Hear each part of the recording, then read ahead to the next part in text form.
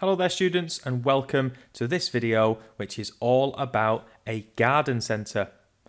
The garden centre we're going to look at is Gordon Rigg which is a garden centre on Todmorden Road. Now this garden centre has asked us to create a little prototype system for them to show them a number of different things. So the first thing it's going to do is it's going to allow us to create a structure, record structure to hold products from the garden centre be it plants to garden furniture. Two, it's going to count the number of records that we've got in our file, and it's going to check the quantities of stock in the file to a minimum reorder level. It's going to allow us to add a product into our file. It's going to display all of those products in the file into the list box or the data grid view. It's going to find a record at a specific location in the file. And it's worth pointing out here that all records sat inside the file start at the position of one. So if I put in number three there, it's going to produce the third record in the position of three in our file.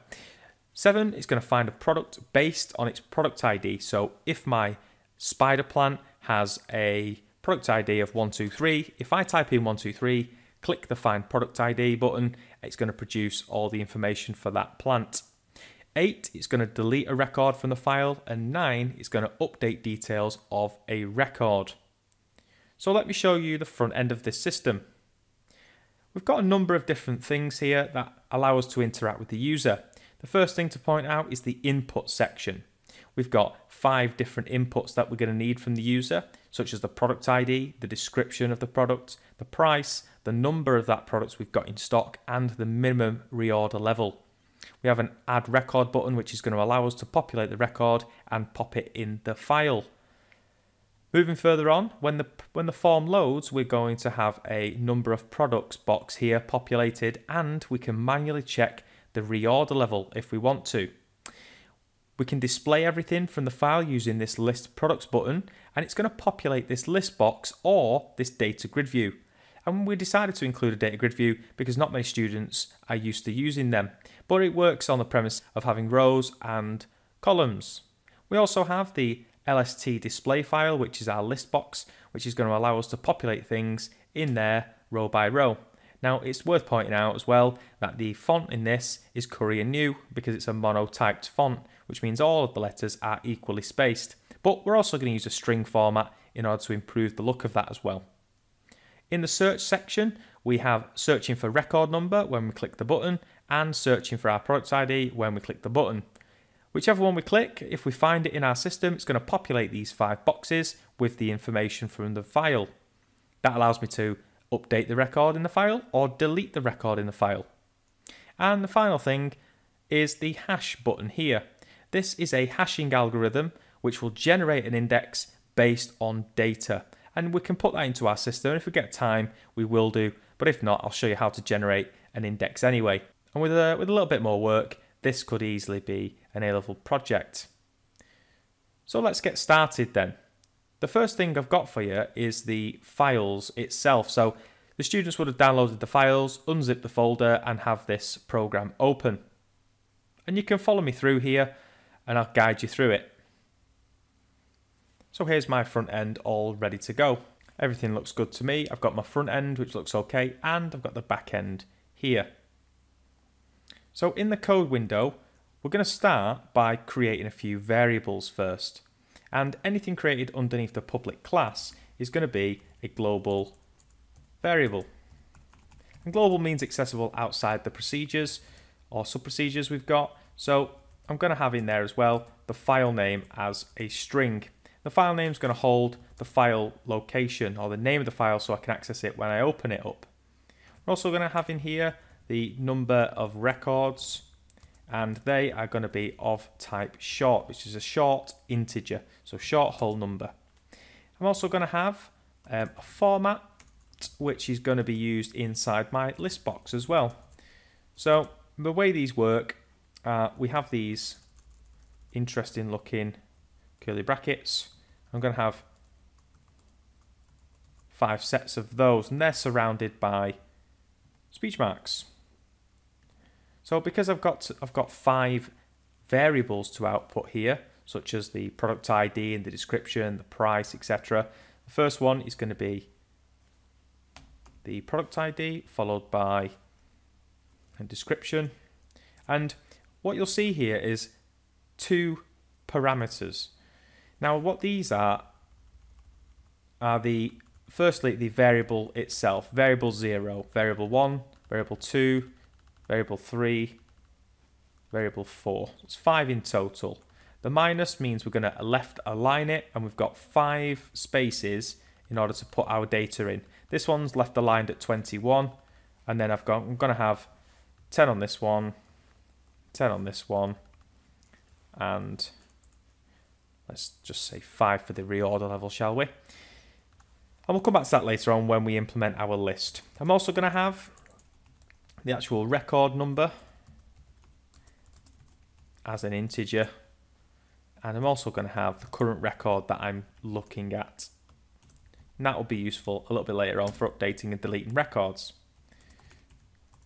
So once I've got those things, the next thing I need to do is create a record structure. Okay, that's our data structure that we're going to use for our files.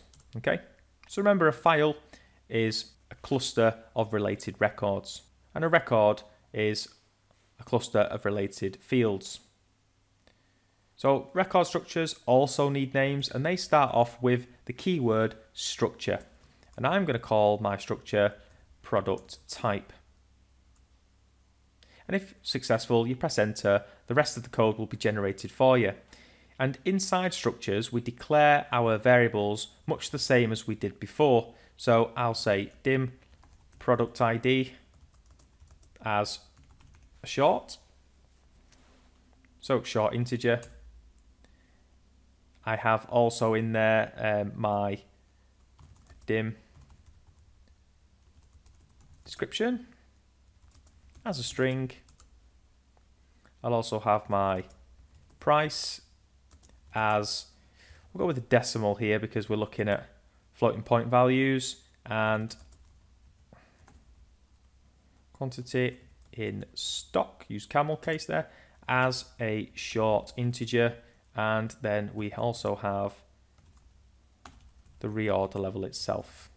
Okay, now, a little case. So if you think about it now, um, what is my total size? of my record. So when I populate one record, shorts have two bytes. Description, hmm, I'm not quite sure of that one yet because a string can be as large as we like. I'll also have, uh, oh, decimal is not two bytes. Decimal is 16 bytes. We also have two bytes here for that. And reorder level as short. That's two bytes as well. There we go. Now, the string's quite interesting. When you have a record, we're going to slice up the file in the specific size of a product type structure. So my product type structure Uh, currently has 16 plus the 4, so that's 22. Okay, now my description, how large would that be? I'll go with something just to make this nice and simple to work with. I'm going to go with 18. So it's going to be 40 in total because I'm going to have the 18 from the description plus the 2 there, that's 20, plus the 16, plus the 4, that gives us 40 bytes in total. So that's what I'm going to aim for, 40 bytes in total. Yours can be whatever size you like, but when you create records, if you're doing it like I'm doing it with fixed strings or fixed record lengths, I'm going to also add in here VB fixed string. And that's going to make sure that whatever happens when somebody types this in, types the description in, it's going to be set to, or to a predetermined size. So if I put in there 16 characters to describe my house plant, for example, um, what's going to happen is going to pad out two more characters. And that's it's quite important that when we actually build our, our file. So we'll look at this a little bit in a little bit more detail later on. So I've created my structure there. I've got all my variables that I need, all my fields in there, and I'm happy to move on now. So the first thing I'd like to do really with my program is double click on it and I produce a load event. So form one underscore load. And there's a number of things that I'd like to do when we load up this form. The first thing would be to declare a pointer to the structure itself. And what that means is dim one product. This is this looks immediately like a variable would do. So declared it first with dim and I'll say as and then I'm ready to declare my data type. Now in this case, because I'm creating a pointer to the structure, my data type would be the product type. Now I've got a green line there, which means I've not used the memory in that. So if I put one product and if I put if I put a full stop, I've got access to all of the fields inside that I've just created up there, such as the product ID and the description and the price and the quantity in stock. So I could populate the description if I wanted to. I could just assign it a string houseplant. Okay, that's how you populate fields inside a record, but I don't want to do that yet. I'm going to create the, the file name. So the file we're going to use, I'm going to call it products. And I'll show you the default location of all of your files. So there's my file name variable. I'm going to assign it the products, the products file. And this is going to be a .dat file, which is going to hold some data you can feel free to use txt or something like that. It'll work much the same. Uh, excellent. So when I say the bin folder, what I'm actually talking about is, I'll just get this up here. This is my, my files for my project. If I double click that, I go inside random access, which is the name of this project. I go inside the bin folder, into debug. This is where my file is. So I've already got a products file in there pre-populated because I've done this before. So here's my file there. And that's how you access it. Now, if I don't have a file there, I need to make sure that a file is created. So standard file handling, we have three steps. Step one, we open the file. Step two, we do something with the file. Could be anything. It could be looping through it. Could be reading to it. Could be writing to it. Then we have the third final step, which is close the file. I always forget that. But the program often shouts at me if I've done something wrong. So here we are. We'll start with the keyword file open and we've got a series of parameters, seven in total. So the first parameter is the channel of my file. So what am I going to connect to? When I've got a channel open, nobody else can access that channel apart from me if I've got it open. So if I leave it open by accident, I'm not actually going to get access to it. I'm not only going to be allowed to edit it in the future, the system will shout at me. So it's always important to close your files. Next thing I have is the file name in there, followed by the mode that I want to open it in. Okay, so I'm going to open mode and I'm going to use random for this. So that means I can open it anywhere. Then I've got parameter 4, 5 and 6 which are going to be blank. So these, you can see there, the system's trying to tell me what they are. This one is the access, open access, and then I've got the open share, and then here I've got the record length, so how long is the record? and it's the length of one product, which we've just worked out is 40 bytes in total. So when it opens the file, it opens it in 40 byte chunks. So these parameters, we just leave them blank because we don't really use them. I don't think I ever have used them to be honest. So parameter 1 is the channel, parameter 2 is the file name, parameter 3 is the mode you want to open it in. Channel 4, uh, sorry, parameter 4, 5, and 6 we don't need.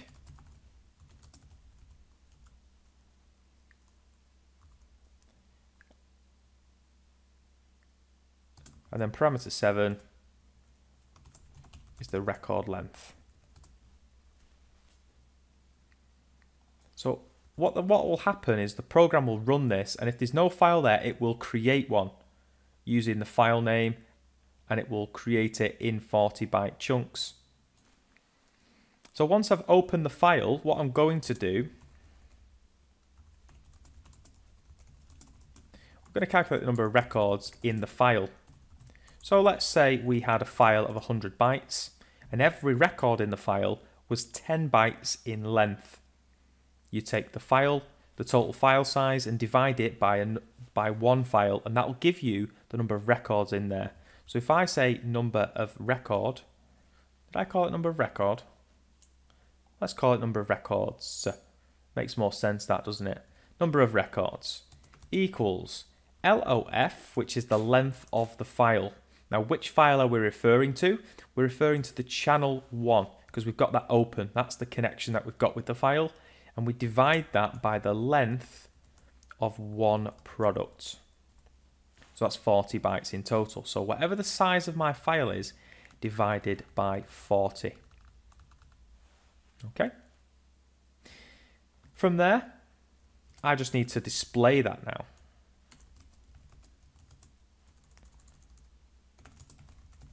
Now where I'm going to display that, display number of records, I'm going to display it in this box here. And that's called txt display products in file. So if I put txt display products in file dot text what I can do then is say assign that the value of number of records. And then finally, the last step of my file handling process is file close and which channel do I want to close down. That's channel 1. Excellent. There we go. Now if I run this, you've already got a pre-populated file, or I have at least. So what that's going to do, it's going to run the file, and it's going to pre-populate the box and 3 goes in there because I've got three products in my file.